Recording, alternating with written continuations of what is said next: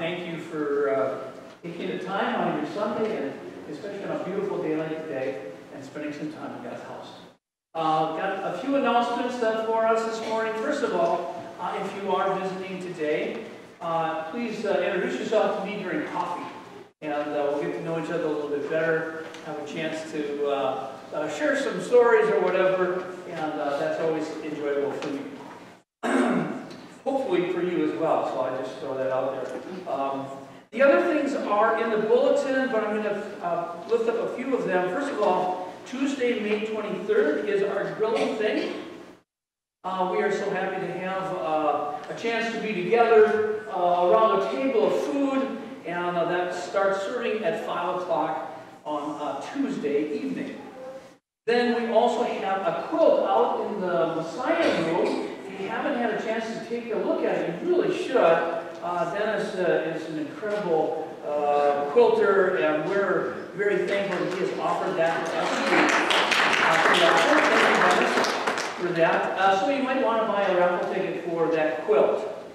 Then uh, this week is a busy week here at Kenwood. We have the rummage sale, and I know that there's been a lot of stuff brought already. Hopefully, if you have brought your stuff, we better get it down there just to get a table. Uh, there's a lot of stuff going on, uh, and looking forward to that uh, this week. The last one is just a senior luncheon. Again, I can't tell you how fun it is to be together. Uh, we have some good conversations. Usually we leave laughing and full, which is always good. Uh, we're going to be at Foster's on Wednesday, June 7th, and we get together about 11.30, and who knows, sometimes we're there for an hour, sometimes we're there for an hour and a half, and I'm sure there's some stragglers past that occasionally. Uh, any other announcements this morning that we need to uh, lift up before the congregation? If not, uh, I invite you then to just uh, pause for a minute, take a breath, and uh, prepare your hearts for worship with our praise music.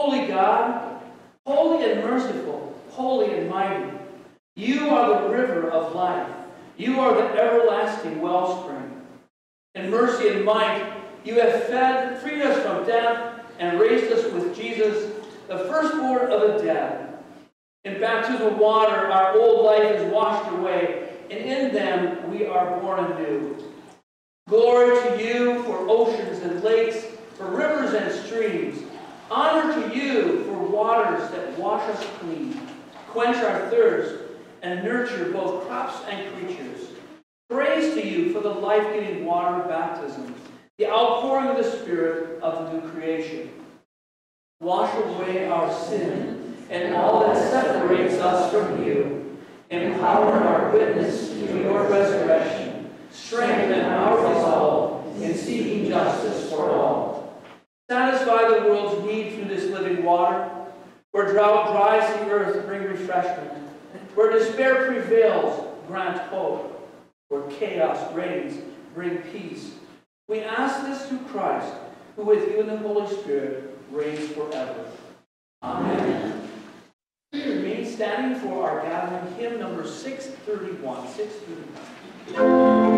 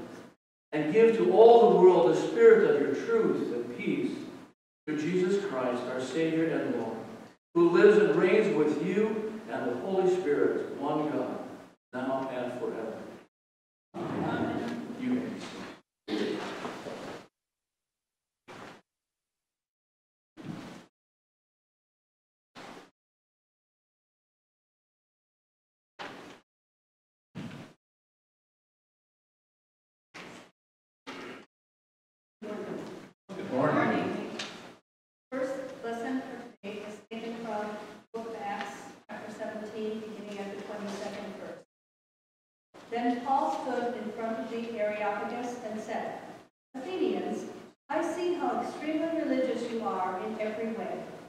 For as I went into the city and looked carefully at the objects of your worship, I found among them an altar with the inscription, To an unknown God.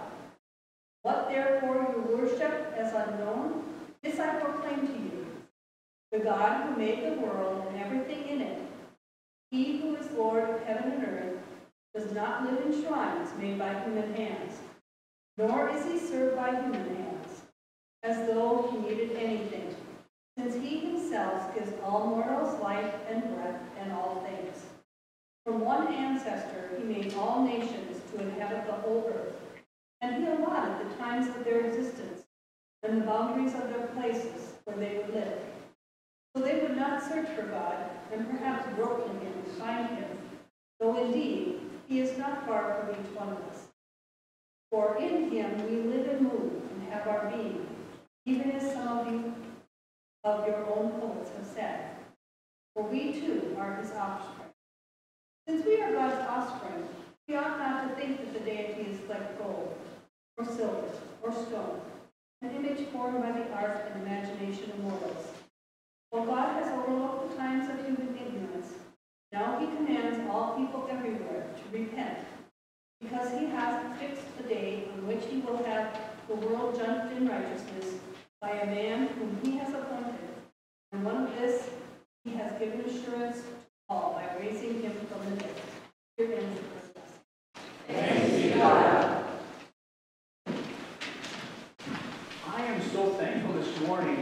so is Psalm 66, and you kind of divide yourself into nice little groups. We're going to try what we did last week. Uh, we're going to start with this side. You will be uh, the first verse, and this uh, middle group is going to follow up with the bold letter verses. So let us uh, join together in our psalm.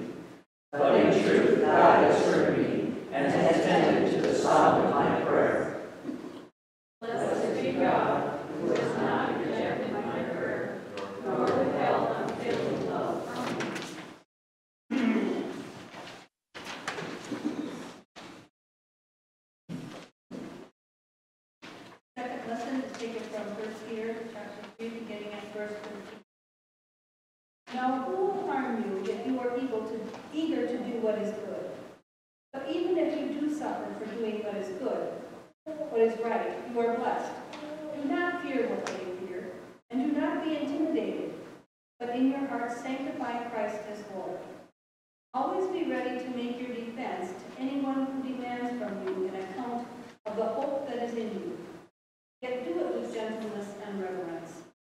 Keep your conscience clear, so that when you are maligned, those who abuse you for your good conduct in Christ may be put to shame. For it is better to suffer for doing good, if suffering should be God's will, than to suffer for doing evil. For Christ also suffered for our sins once for all, the righteousness, the righteous unrighteous, in order to bring you God. He was put to death in the flesh, but made alive in the spirit, in which also he went and made a proclamation to the spirits in prison, who in former times did not obey. When God waited patiently in the days of Noah during the building of the ark, in which a few, that is, eight people, were saved through water, and baptism, which this prefigured, now saves you, not as a removal of dirt from the body, but as an appeal to God for a good conscience. Through the resurrection of Jesus Christ, who has gone into heaven and is at the right hand of God, angels, authorities, and powers made subject. Here is. Thanks be to God. Let us rise for the acclamation.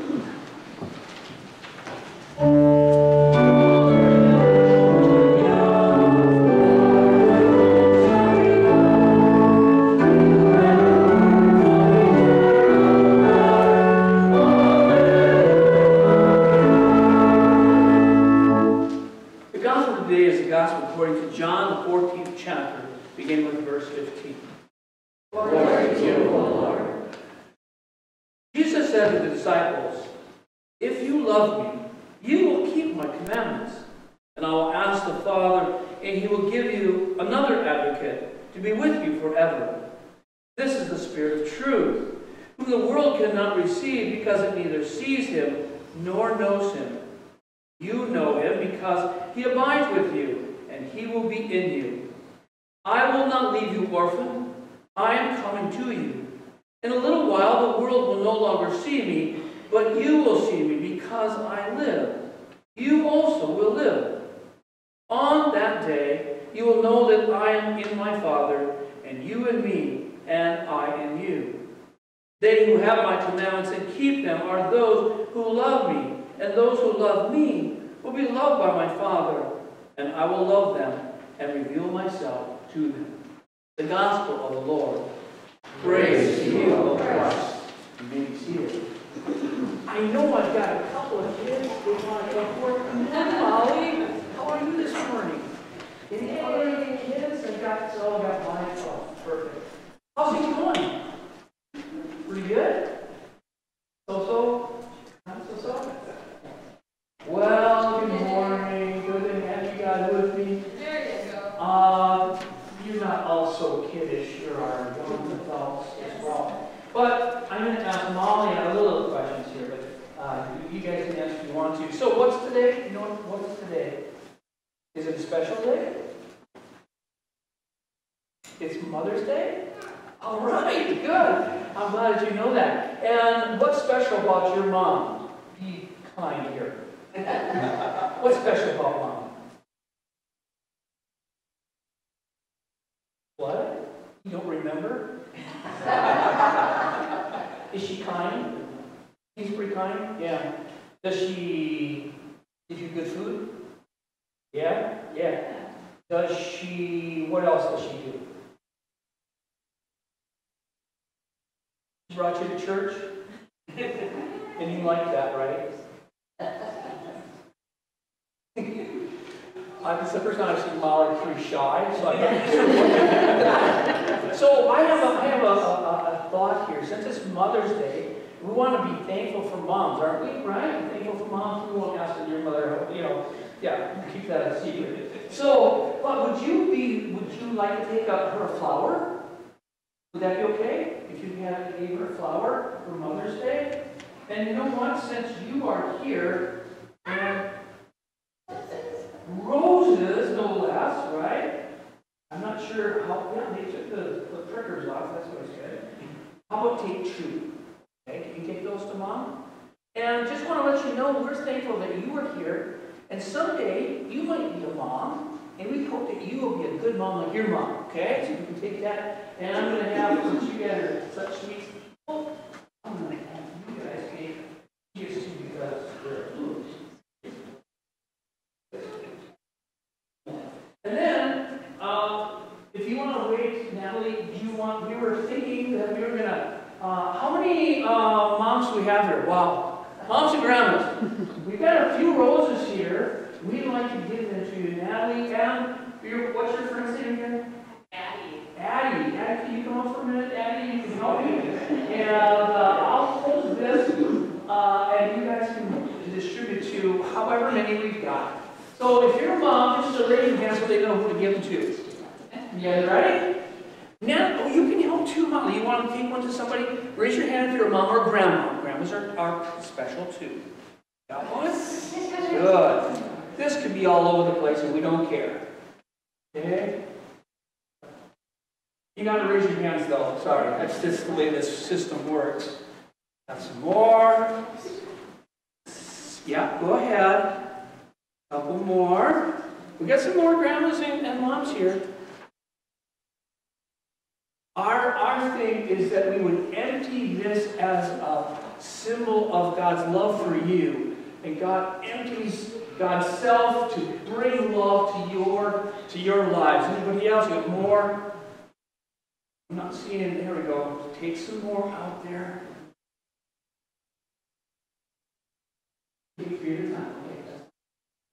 Time. Okay. Oh. We um, got more. We got some more moms back here. Sorry, Brian, you don't get one. Father's Day will do something. Here, we got some more. We got enough. Perfect. Any more? Grandma's some. Who did not get one yet? Who did not get one? Okay. We got, we got more flowers. We got a few more. Don't be shy because we have enough. Okay?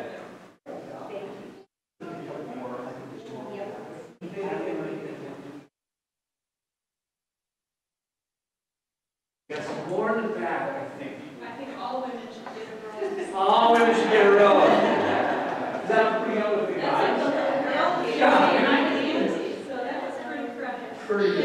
got any more? Pastor, Okay, got it? Oh, man, don't be afraid. Perfect. Yeah, Joan's a mother too. So, uh, just to uh, kind of uh, restate, uh, God empties himself for us to, with his love. So we are hoping to get rid of all of our, our roses, and uh, I, I hope that you feel the love that God has for you as moms and grandmas, and uh, as, as women in general, and as men too, but, but so thankful for all that you do uh, for our church. Thank you for being that kind of example of uh, Christian love in our midst and our community. Thank you so much. And Molly, thank you for just being yourself. And yeah, someday she will be a mom, and this will all make sense to us.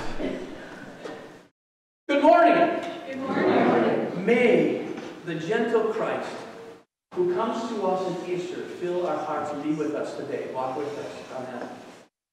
Now, my hope this morning is to invite you to accompany me on a short journey and to ask the Holy Spirit that the Holy Spirit would walk with us this morning.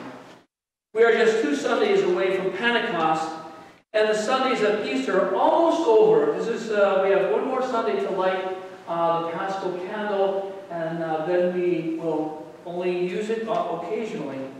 Uh, but the text today is perhaps uh, positioned kind of strangely in our calendar. It takes us back to the night of Jesus' arrest. So if you read a little bit of the description on top of those uh, scripture lessons, you realize that's kind of strange. We're in Easter and we're reading pre-Easter text this morning. But in this text, Jesus reminds the disciples that although he will soon be leaving them, he will not leave them orphaned, but will send an advocate to be with them forever. Today we are celebrating Mother's Day. Now normally, I wouldn't preach on Mother's Day. I'd probably take the text. Mother's Day is not necessarily a, a, a religious uh, a celebration, but it is a celebration of uh, women and life. And for that reason, I might actually venture into Mother's Day ideas. And I am doing so today. I feel very good about that. Spend some time with the text. I found some things that I, I found very interesting. I like the idea of uh, mothers uh, celebrating the goodness of life. Uh, the Proctor Journal every year has a Mother's Day celebration to it, and so the kids tell us what they like about their mothers. It's uh, the Bayview kids. They're in third grade. They interview these kids, or they write them down, and then it gets uh, brought into the journal. And it, you see some of the really interesting things, the typical stuff. She's nice. That was one. She's nice. She uh, puts chocolate chip cookies in my pancakes. That's also good. My grandson uh, mentioned that his mom is uh, likes coffee in the morning. I'm not sure exactly what that means. But I'm sure there's a story behind that, but we'll just let that set for a minute. So it's all the normal special things one might expect to hear from kids. But the overriding message was this that moms are those who walk with us, who take care of us, and can be counted on to be there no matter what when you need. That's the overriding message. I think there's something like that happening in this text this morning as well. So I invite you to just walk with me a little bit this morning as we go through that. It maybe changes how we think about the Holy Spirit, but I appreciate the idea of an advocate. The advocate is someone who will be with you. That's the intention of the word. That word advocate is interesting. It's a word, it's a title that is a part of a legal system. It's legal language. It's a legal assistant or defense lawyer's helper. I always think of Perry Mason. I don't even remember Perry Mason. Wow, I'm dating myself. I don't mind doing so this morning. He had these two assistants. You remember their names? Della Street and Paul Drake. There are two assistants to Perry Mason. While Perry Mason may be in the courtroom, Della and Paul were seen somehow running from one place to another, trying to round up witnesses for the defense or finding evidence to help their client. The word uh, advocate, parakleton is the translation, is one called to an aid, or as an aid, or one called alongside to give help.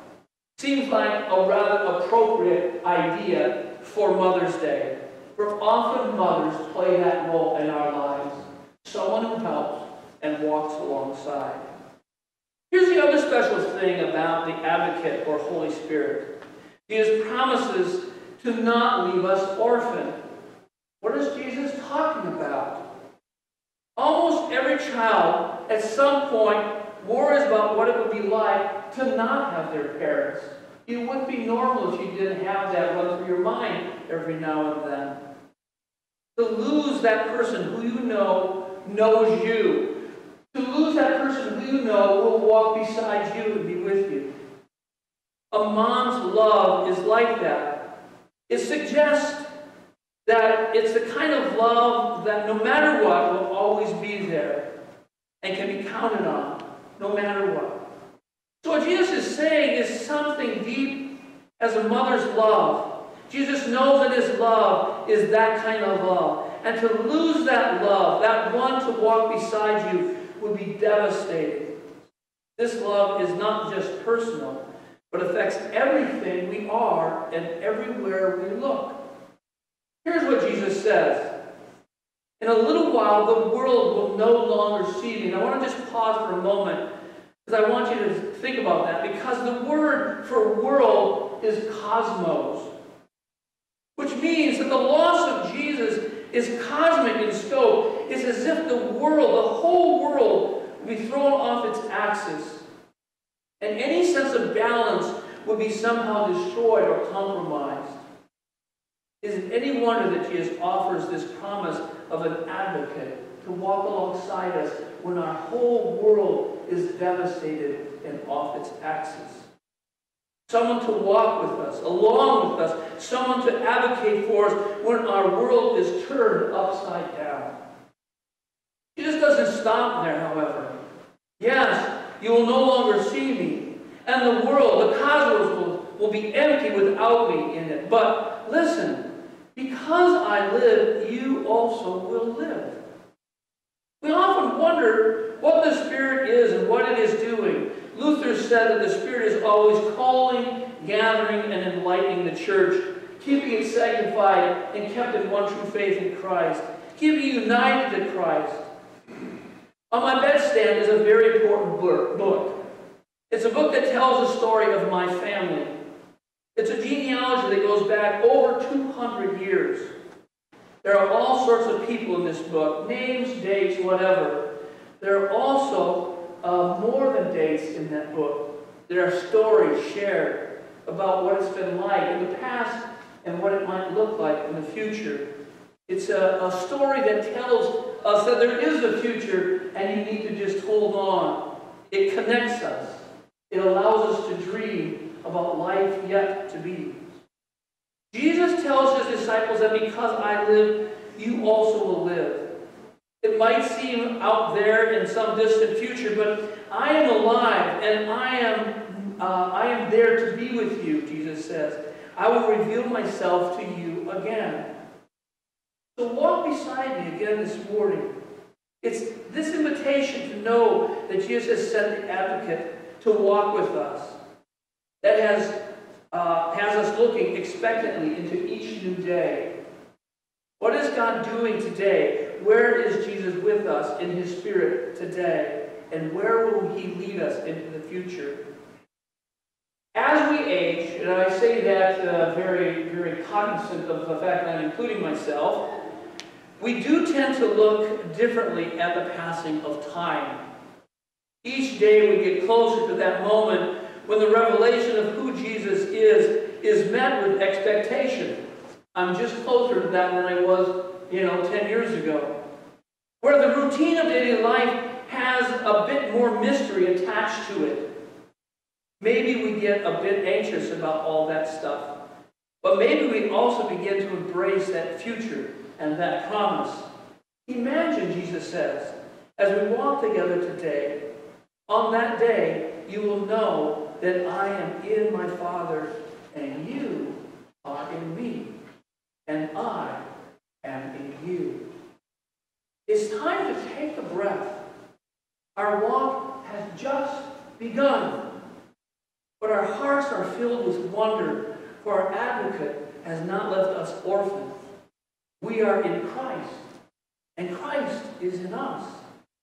And we are all together with Christ in the Father. Happy Mother's Day. Happy knowing that on the journey people walk with you. We have each other and we have the advocate to be with us every moment of every day. God's blessings on your week. Amen.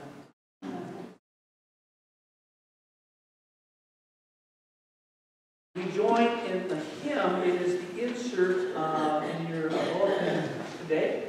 And uh, uh, we will rise on the last verse.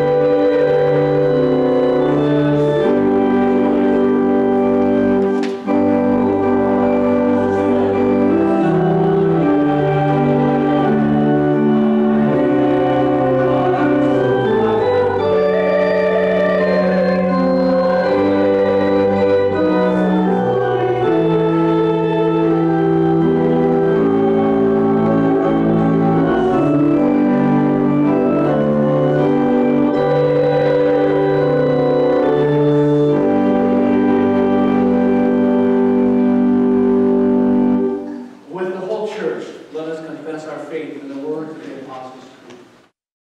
I believe in God, the Father Almighty, creator of heaven and earth. I believe in Jesus Christ, God's only Son, our Lord, who was conceived by the Holy Spirit, born of the Virgin Mary, suffered under Pontius Pilate, was crucified, died, and was buried. He descended to the dead. On the third day he rose again. He ascended into heaven. He is seated at the right hand of the Father, and he will come to judge the living and the dead. I believe in the Holy Spirit, the holy Catholic Church, the communion of saints, the forgiveness of sins, the resurrection of the body, and the life everlasting. Amen. Please turn to the prayers of intercession at this time. United in the hope and joy of the resurrection, let us pray for the church, the world, and all in need. God, our faithful companion, you promised to never leave us and to send your Spirit to guide us in wisdom and truth. Send your people into the world to serve as mirrors that reflect and magnify your love. Hear us, O God. Your mercy is great.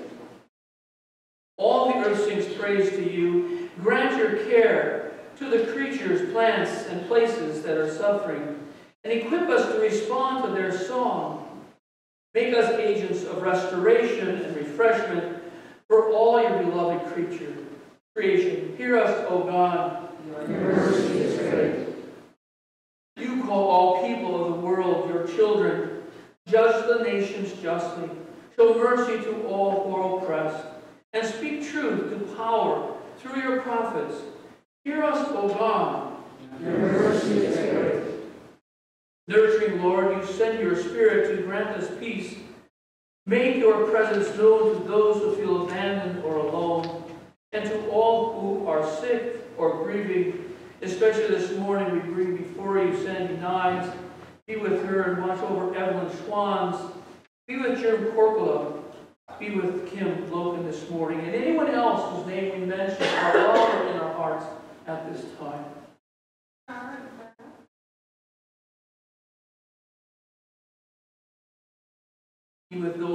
Preparing for surgery and those who've come out of surgery and are needing to recover. Hear us, O God. Your mercy is great.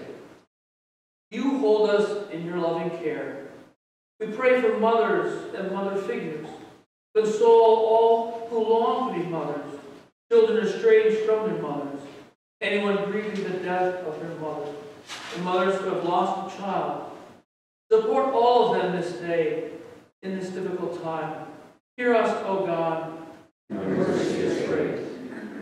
Almighty God, you give life and breath to all things. We give thanks for the Apostle Matthias and all your saints. Sustain us by your love until we join the saints in glory. Hear us, O God. Your mercy is great. Rejoicing in the victory of Christ's resurrection, we lift our prayers and praise to you, Almighty and eternal God, through Jesus Christ, our risen Lord. Amen. The peace of the Lord be with you always. And also with you. I invite you to move around and share the peace with each other this morning.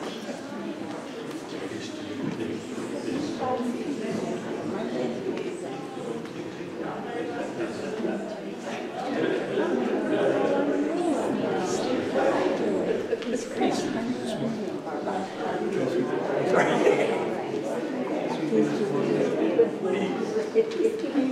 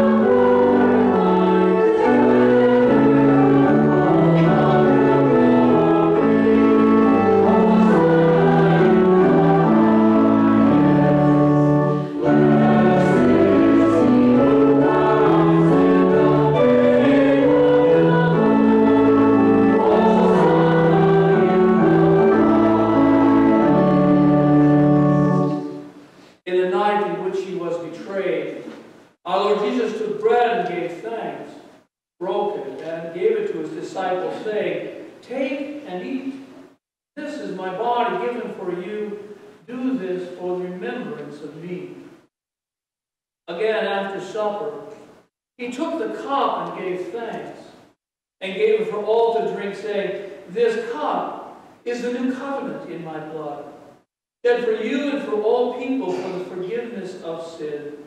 Do this the remembrance of me. Gathered into one, let us pray together the prayer that Jesus taught us. Our Father, who art in heaven, hallowed be thy name. Thy kingdom come, thy will be done, on earth as it is in heaven. Give us this day our daily bread, and forgive us our trespasses, as we forgive those who trespass against us. And lead us not into temptation, but deliver us from evil. For thine is the kingdom, and the power, and the glory, forever and ever. Um, For those of you who are, have individual uh, communion, um, uh, we invite you to come at this time. Uh, Invite you to come forward as you are able. Uh, The ushers will direct you. And uh, as you come forward, uh, if you place your hand out, the bread you place into your hand. If you need gluten-free bread, just indicate that to me. That is in the center, uh, in the small bowl in the center of the, of the uh, bread. And then um, the wine is, there's little grape juice and wine. Uh, The wine is darker and the grape juice is in the center and more clear. After you receive that, uh, you are welcome to take the empty cups in the silver uh, bowl that's down there, will be placed up on top. And uh, also, since the waters of baptism have been poured this morning, you're welcome to combine the baptismal font and place your fingers and make the sign of the cross in remembrance of your baptism. Most importantly, as is always the case here, uh, we want to let you know that everyone is welcome at this table. Uh, This is not a Lutheran meal, this is the Lord's Supper. At the Lord's table, all are welcome. Come out for all has made.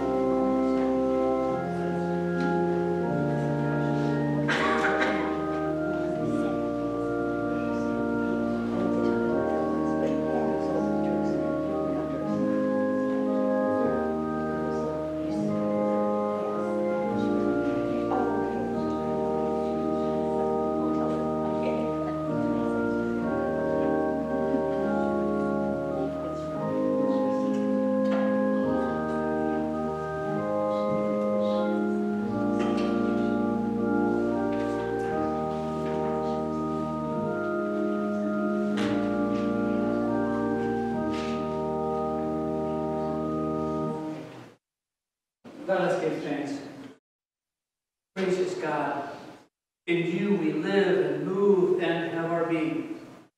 With your word and this meal of grace, you have nourished our life together. Strengthen us to show your love and serve the world in Jesus' name. Amen. The God of all, who raised Jesus from the dead, bless you by the power of the Holy Spirit to live into the new creation. Amen. Our sending hymn is number 840. 840.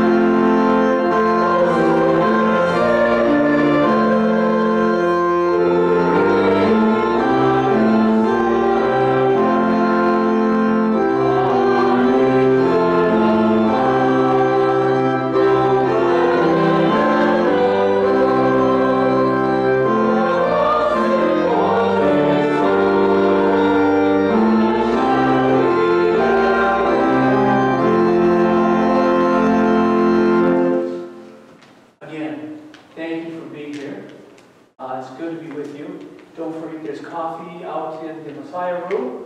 Uh, there's goodies and hopefully good conversation. That's up to you. Can't help with that. Uh, thank you again, mothers, for being a part of our worship in our lives. Now comes the final sending message. Go in peace. Serve the risen one. Thanks be to God.